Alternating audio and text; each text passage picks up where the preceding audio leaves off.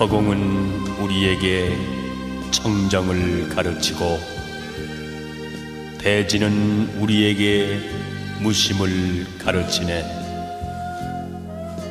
청사는 우리에게 무상을 가르치고 바다는 우리에게 평등을 가르치네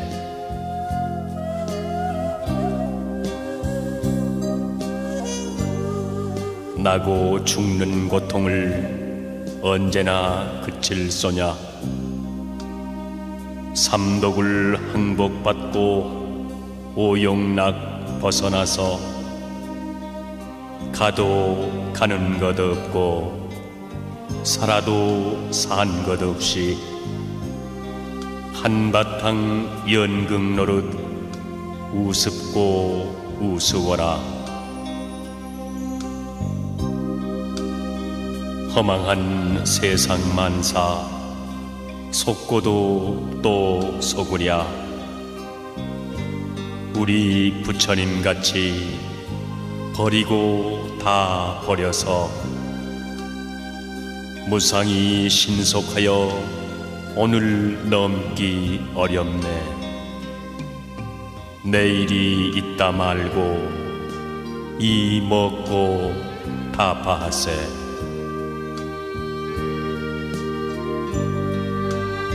두 번 없는 인생을 멋들어지게 살며 마음 깨쳐 화를 하고 묵음져 불어보세.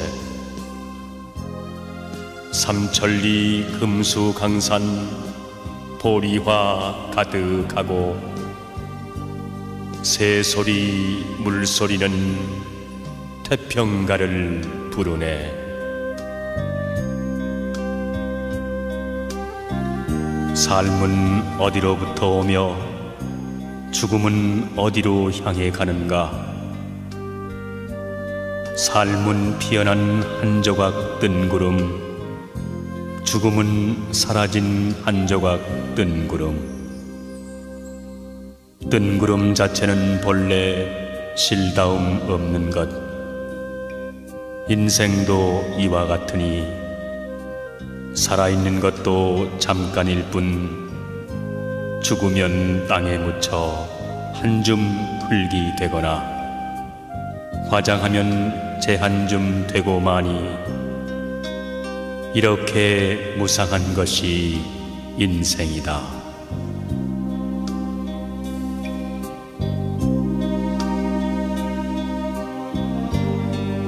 아, 짧도다. 인간의 생명이여 백년도 못 되어 죽어가는가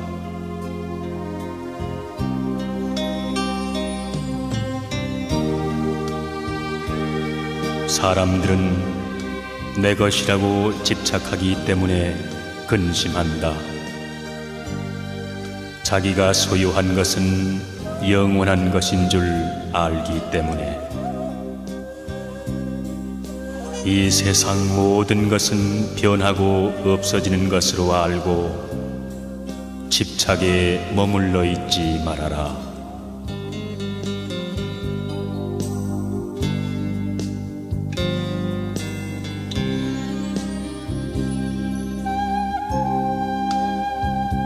사람이 내 것이라고 생각하는 일체의 모든 것, 그것은 그 사람이 죽음으로 인해 모두 잃게 된다. 사람들아, 현명하게 이치를 깨닫고 내 것이라는 관념에 사로잡히지 말아라. 이를테면 잠을 깬 사람은 꿈속에서 만난 사람을 다시 볼 수 없듯이 목숨처럼 사랑하는 사람도 죽어 이 세상을 떠나면 다시는 만날 수가 없는 것이다.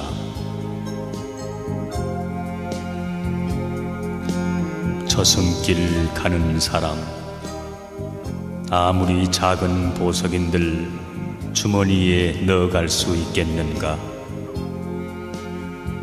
동전 한 입, 지폐 한 장인들 숨겨갈 수 있겠는가?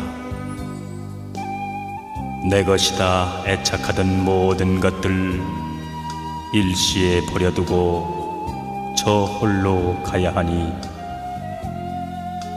죽음의 그날이 오면 이미 내 것은 아무것도 없는 것. 본래부터 세상에 내 것이란 없는 거라네.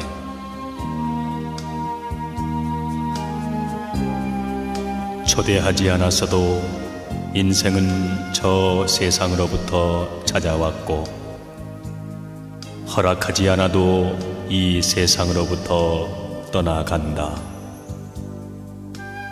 그는 찾아온 것과 마찬가지로 떠나가는 것이다. 거기에 어떠한 단식이 있을 수 있는가?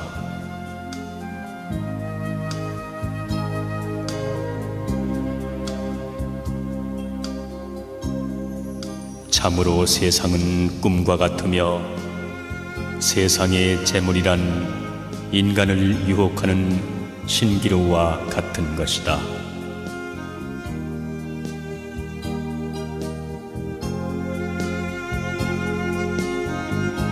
탐욕과 어리석음은 한바탕 꿈이라네. 티없는 맑은 지혜, 이야말로 참된 부처.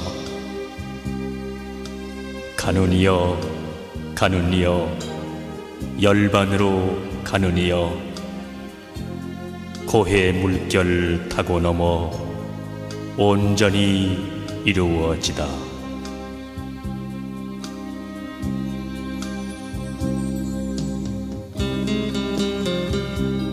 크고 작은 무덤의 주인은 누구인가? 죽고 난 다음 돌아보니 세속의 온갖 삶이란 얼마나 구차한 것인가? 무덤 곁에 바람 소리만 쓸쓸하다.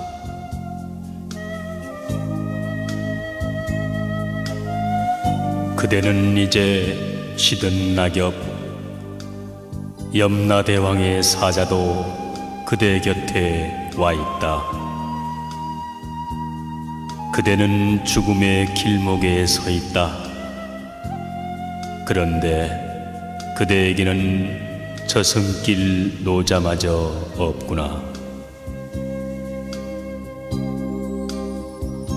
그러므로 자신의 의지할 때를 만들라. 부지런히 정진하여 지혜로워지거라. 더러움을 씻고 죄에서 벗어나면 천상의 성지로 올라가리라.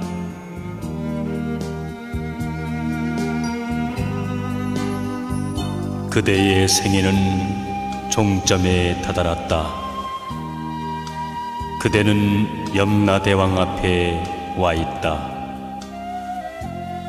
도중에 쉴 곳도 없는데 그대에게는 저승길 노자마저도 없구나.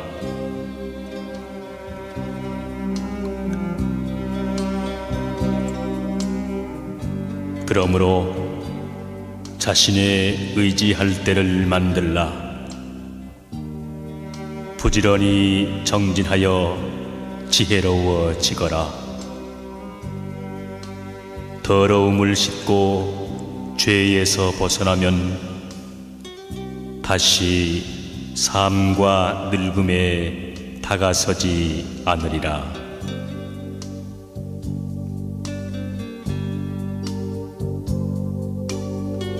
아침 풀잎에 이슬을 못 보느냐 해 뜨면 금세 모두 사라지는 걸 사람의 몸도 이와 같으니 부디 한평생 어름어름하지 말고 삼독을 모두 끊어 없애면 보리는 곧 번뇌 번뇌는 곧 보리. 그 번뇌 다시나마 잊게 하지 말라.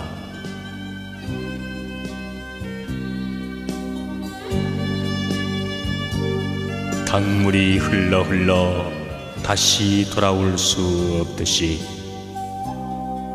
사람의 목숨도 그와 같아 한 번 가면 다시 오지 못하나니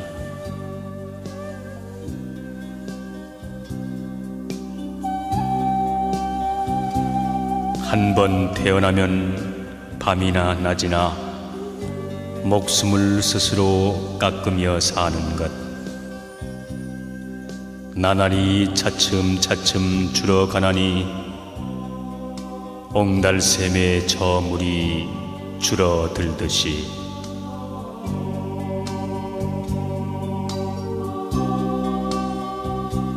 세상 모든 것은 덧없는 것들 일어나면 반드시 쇠하는 법. 나는 것 그대로 죽음의 길. 생멸을 뛰어넘어 참 즐거움 찾자.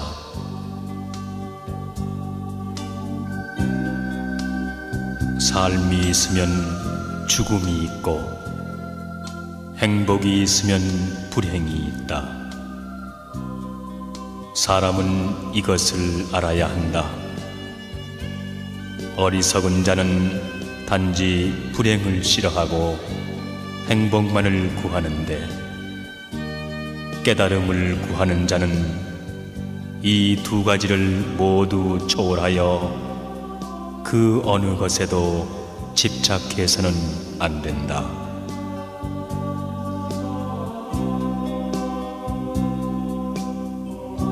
물거품과 꿈과 환 같은 이 몸. 기껏 백년이 그 얼마던고 이치 자세히 생각할 줄 모르고 나는 오래 산다고 사람들은 말하네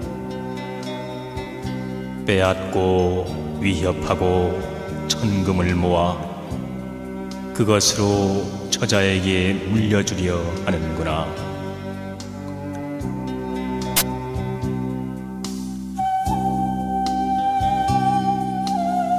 노인에게 어찌 다가오는 죽음을 말하랴.